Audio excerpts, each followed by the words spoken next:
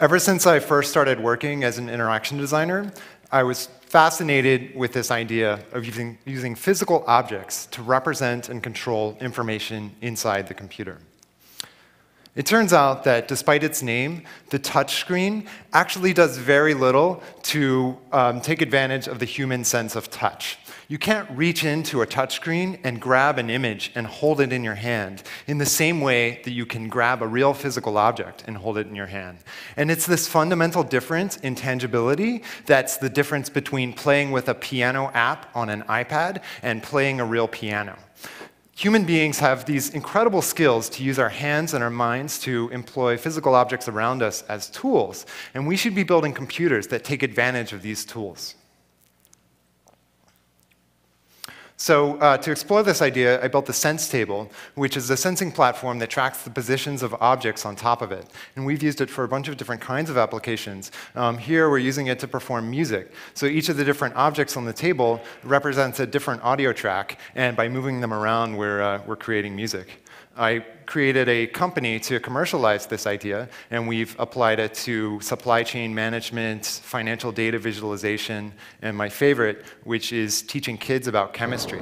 Uh, this is an exhibit at the Museum of Science and Industry in Chicago. It's part of their um, huge new uh, Science Storms wing.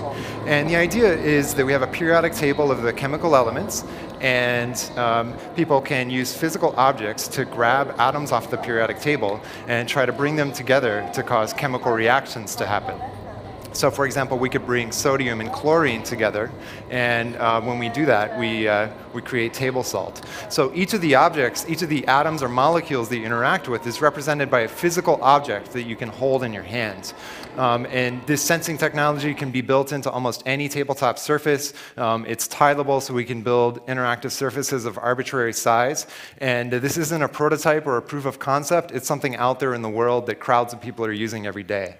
Um, so I wanted to take this idea further, and I thought, what if you could make your interaction with the computer be more like a physical tug of war?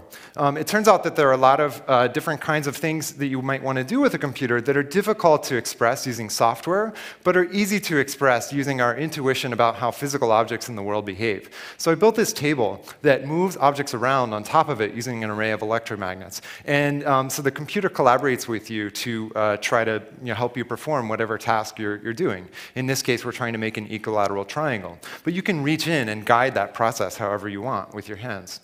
Um, so I wanted to apply this to a real problem. I talked to engineers at Motorola um, about how they lay out cell phone towers. As you might guess by the number of dropped calls on your phone, uh, this is a pretty hard problem to solve. Um, so the idea here is that each of the physical objects on the table represents a different cell phone tower, and um, we can move them around. The computer is also moving, moving them around to try to um, optimize the, uh, the, the, the cell phone coverage. And you can just sort of reach in and guide that process. So for example, uh, suppose you wanted a particular tower to be in a particular area of the city. You can just grab a physical object and use it as a barrier to confine that, that tower to the correct place. Or if you want to lock a tower in a particular area, just put some sort of heavy object on top of it to hold it there. So the idea is that any um, physical interaction that you can have with the table has a reasonable interpretation in the context of the software that's running on the table.